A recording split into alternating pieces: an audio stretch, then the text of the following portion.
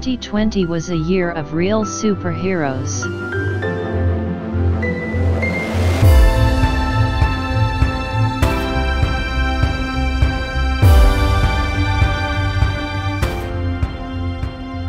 Never before has there been a borderless event of this magnitude that has influenced our thinking, lifestyle, decision making, and interdependence.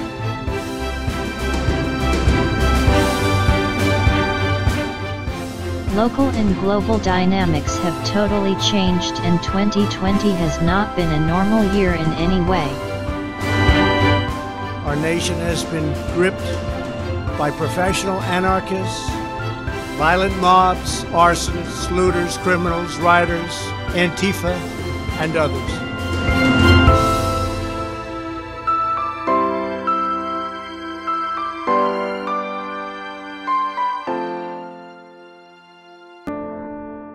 We cannot deny the fact that this year was dramatic and horrific for many of us because of the rise in domestic violence, unemployment, economic instability, lockdown, working from home, and irresponsible behavior by those who have not taken the pandemic seriously.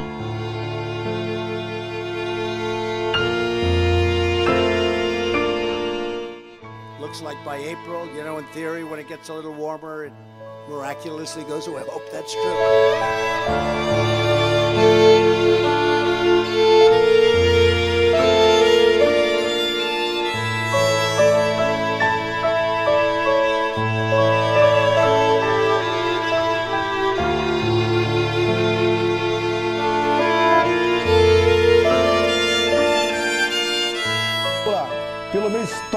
De atleta. Caso fosse contaminado pelo vírus, não precisaria me preocupar. Nada sentiria ou seria, quando muito, acometido de uma gripezinha ou resfriadinho.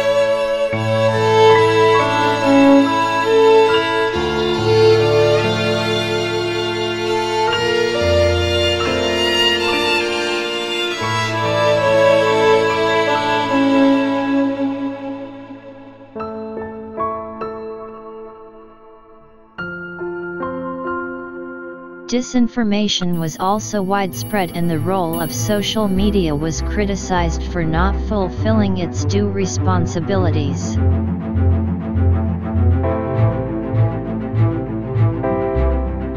COVID-19 disrupted the operational capabilities of businesses across the globe and put in danger many small and medium enterprises.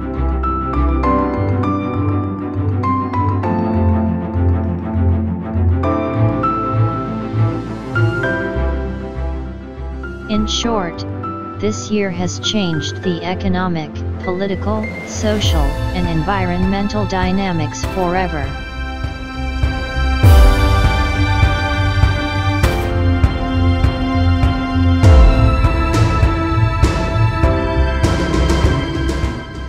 Now we realize the devastation caused by the pandemic, but COVID-19 has also acted as a wake-up call for all of us to adapt to the changing environment and to reimagine the roles of industry, government, and civil society.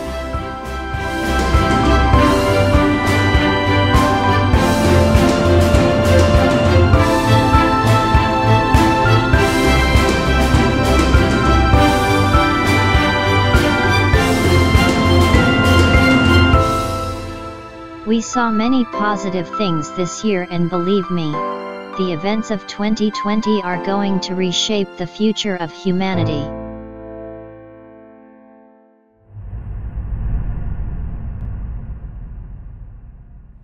This is a time for science and solidarity.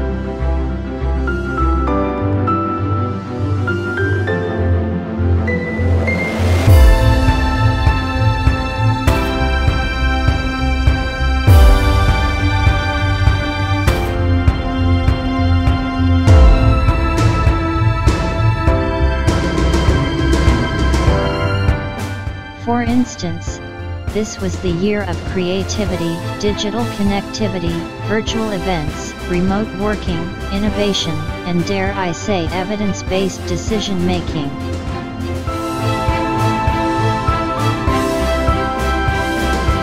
We saw many inventions in the field of healthcare, fintech, and online education. We also witnessed many acts of kindness and charity, sacrifice, and gained a new appreciation for those that work on the front lines.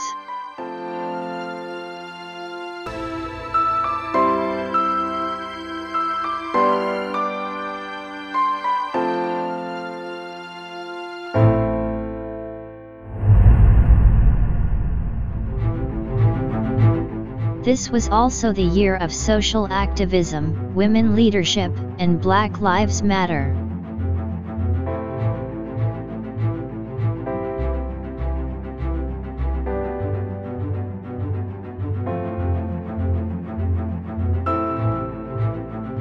There has also been a greater demand for accountability and transparency in decision making, inclusive of all sectors.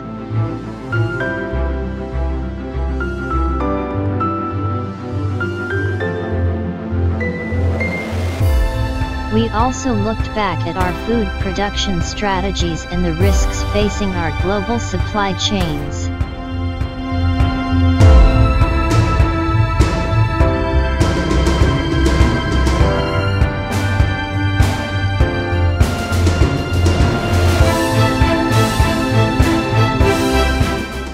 During this year we also talked about the prospects of digitalization, the digital economy, green finance, data protection, and the importance of cybersecurity.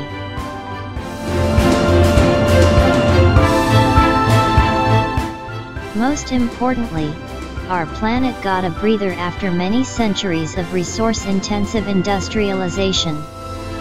In a year that science could not be denied, many of the skeptics finally woke up to both the crisis and the opportunity of climate change.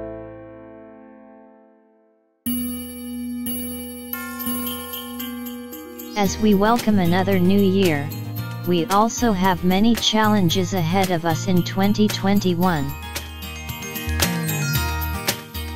Successful recovery requires redesigning our economies so that we prioritize sustainability over short-term profits.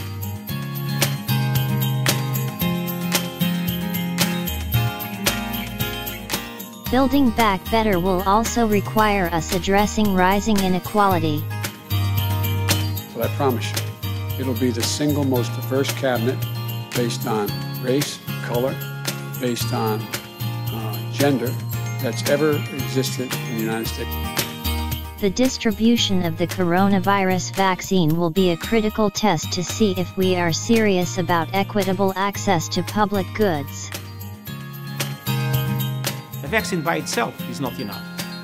We need global solidarity to ensure that every person everywhere has access. The COVID 19 vaccine must be seen as a global public good.